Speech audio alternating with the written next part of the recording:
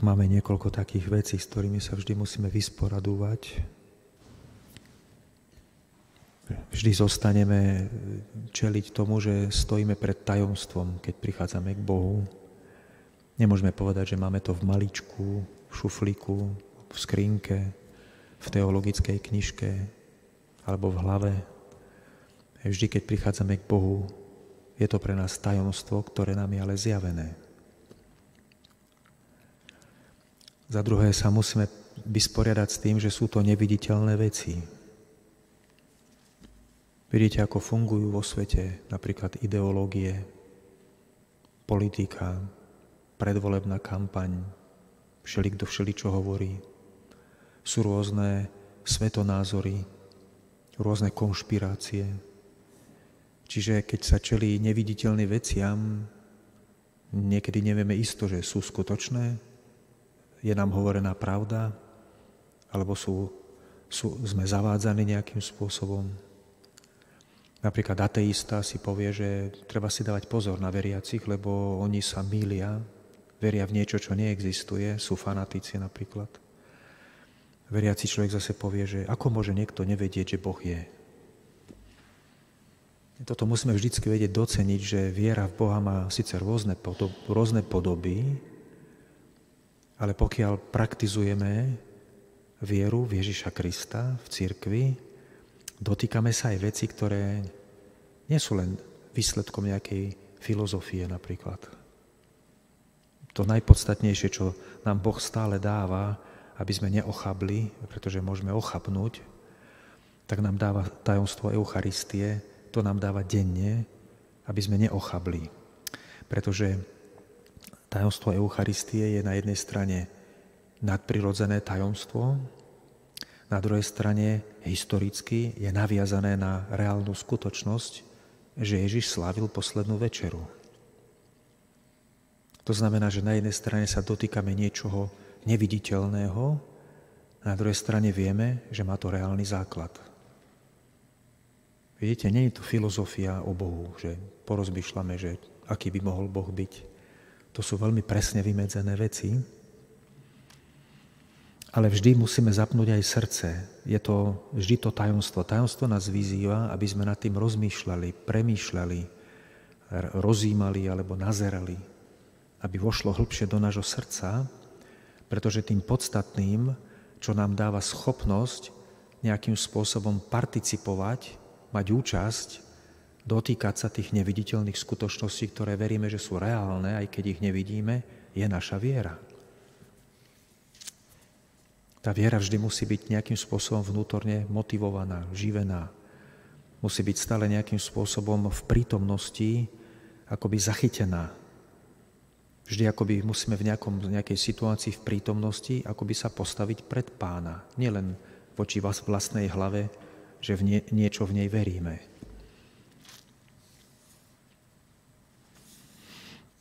To je teda jedna vec, že je to tajomstvo. Druhá vec, že sa dotýkame neviditeľných vecí.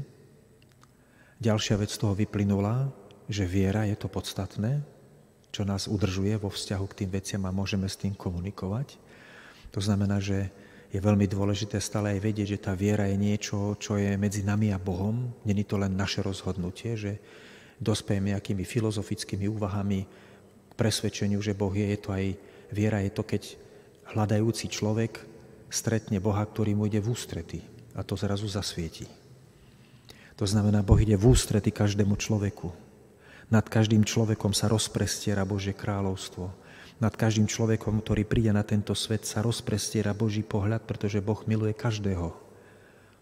Ale človek potrebuje byť motivovaný, aby tomu išiel v ústrety, preto sa evanilium má zvestovať. Preto, to, preto, církev tu, preto je tu církev. Ona je tým znamením, aby to ľuďom pripomínala, aby to ľudí motivovala do toho.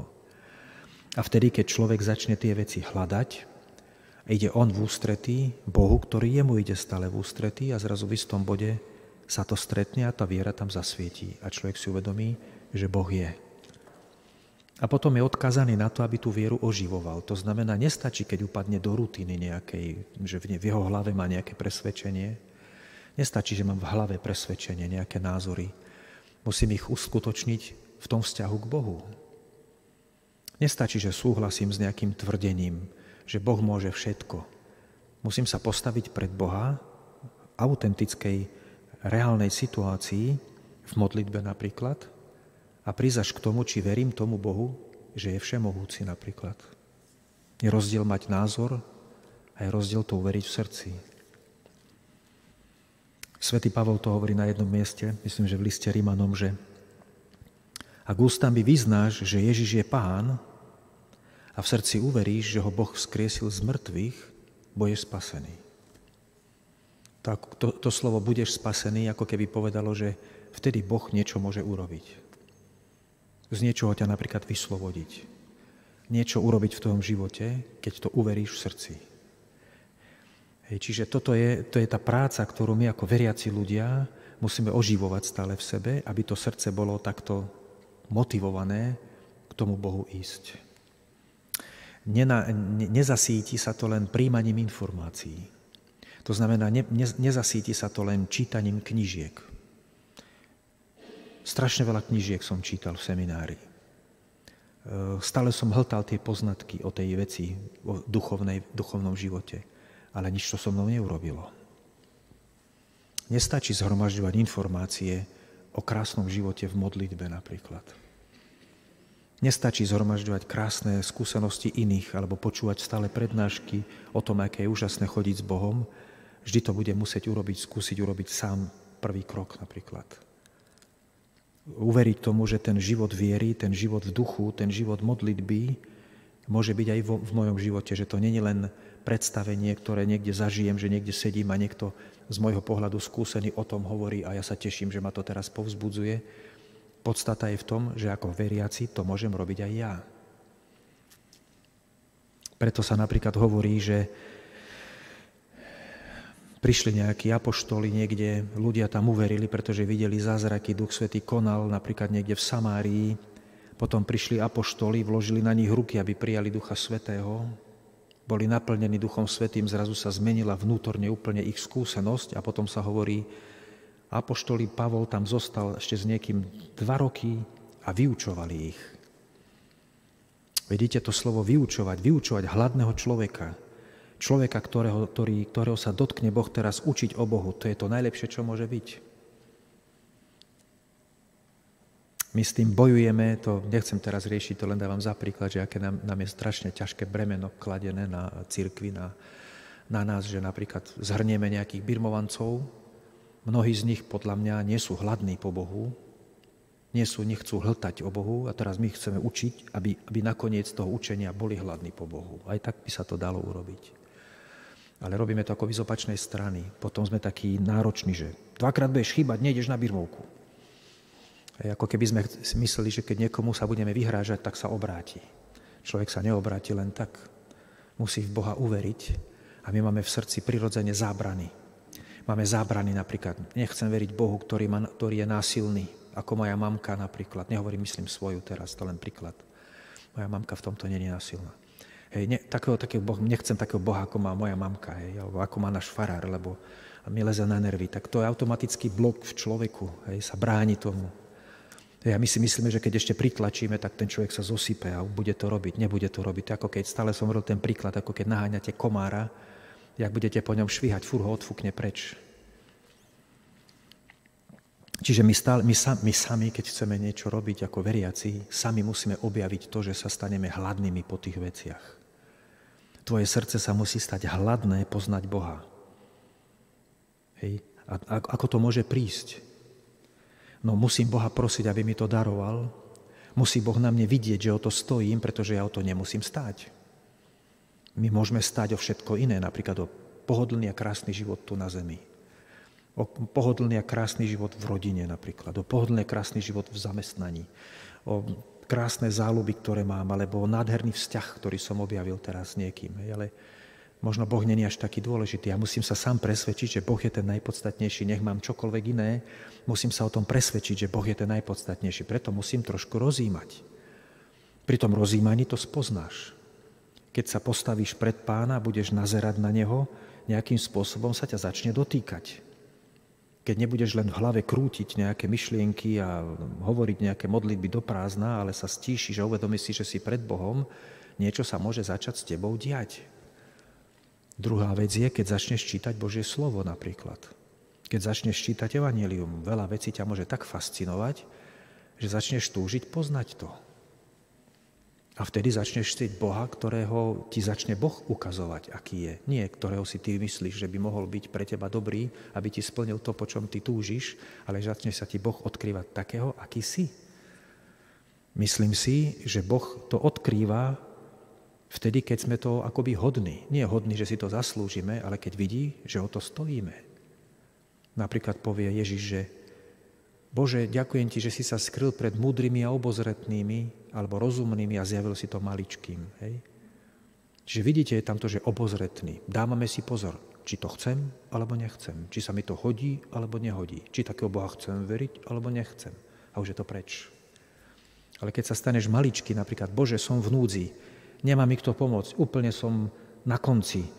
Bože, ak si, tak ma zachráň. Ale Boh povie, zachránim ťa, ale budeš musieť robiť to, čo teraz poviem inak sa z toho nedostaneš. Môže to byť takto nejako. Hej, čiže v istom bode sa roztrhne človekovi srdce. Tomu obozretnému sa neroztrhne, ten si ho chráni. Ten obozretný, dobre vybudovaný katolík, ktorý si je istý svojimi skutkami náboženskými, ktoré predklada Bohu, aby bol dobrý a spravodlivý a zároveň si drží svoj život tak pod kontrolou, aby bol taký, ako ho chce on, ten si to srdce bude chrániť. Bude si ho chrániť, aby ho náhodou Boh nevyrušil niečím, čo sa mu nepáči. Hej, to je ten problém. Čiže my preto musíme prichádzať Bohu, aby nás vyrušil z toho. Aby nás nejakým spôsobom možno v úvodzovkách aj zneistil, aby sme sa cítili zrazu bezmocní pred ním. Bezmocne hovorí sa ako prvé, na, na viacerých miestach, aspoň na dvoch alebo na troch sa hovorí, že bázeň pred pánom je počiatkom múdrosti. Viete, ako môžeme, byť, ako môžeme mať bázeň pred pánom? Len tak, že si uvedomíme alebo prežijeme, aký naozaj je. A vtedy sme ochotní počúvať, aby sme ochotní byť otvorení Bohu. Hej? A vtedy Boh môže nám vkladať tú, to poznanie a tú vieru, ktorá môže s ním spolupracovať. Hej? To je veľké tajomstvo pre nás. Stačí, keby sme rozímali nad tým, čo máme v omši napríklad. Keď rozmýšľame nad tým, že dneska je omša a je za mňa, alebo za niekoho iného a to mám najmä na pamäti, to je nič. Alebo si poviem, o, dneska je omša, konečne môžem si trochu, dneska bola ťažká robota, kus vyvetram hlavu, aspoň si tu trochu oddychnem, to je tiež nič. A keď si uvedomíš, čo tu my vlastne slávime. Ježiš Kristus zomrel na kríži, aby ja som mohol raz byť kňaz.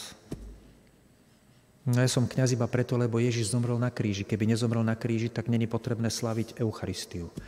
A keby Ježiš nezomrel na kríži, tak nepotrebujeme slaviť Eucharistiu, netreba nám kňazov. No keby sme si to vymysleli, že založíme církev my, tak kňazi budú takí dôležití, že my sme kňazi, nás budete teraz počúvať, lebo my sme tu takí na, na hore postavení, ale my sme tu preto, lebo Ježiš zomrel na kríži.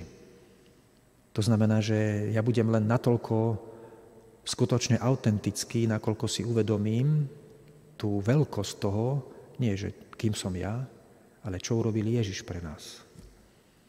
A keď si zrazu uvedomím, že Bože, tu není Není to nejaké divadlo, že zaspievame, klakneme si, sadneme, dvihneme kalich, ale že tu sa stále nejako odvolávame na to, že sa dotýkame tajomstva, že Ježiš Kristus nás vykúpil svojou vlastnou smrťou a vyliatím krvi nás vykúpil. To znamená, že tvoj život má pre neho takú cenu, že bol ochotný zomrieť za to. To ťa musí zlomiť. Potom pôjdeš na príjmanie a povieš si, Bože, to ma musí zlomiť. Ja teraz takto sa trasiem, chvejem sa, že vložím a poviem amen, ten pokrm, ten obetovaný pokrm, ktorý je tým obetným pokrmom medzi Bohom a mnou a ktorý teraz ja zjem ako znamenie toho, že príjmam tú zmluvu medzi mnou a Bohom, že môj život mu teraz bude patriť. To ťa musí zlomiť. Profesor Ivančič povedal, že keby sme vedeli prežiť svetú omšu naozaj vo viere, a to teraz nehovorím, že neprežívate vo viere, aby ste to nebrali tak, že kritizujem, ale svet, profesor Ivančič hovorí, že, že keby sme dokázali prežiť svetú vo viere a v duchu, nepotrebujeme chodiť ani na duchovné cvičenia. Každý deň nás to obnoví úplne od nuly. To tajomstvo. Hej. To je, a toto je pre nás mocné. My zrazu vidíme takú vec, na, tá, tá, tá viera v hlave, môže byť všelijaká. Moja hlava môže všeličo vymyslieť.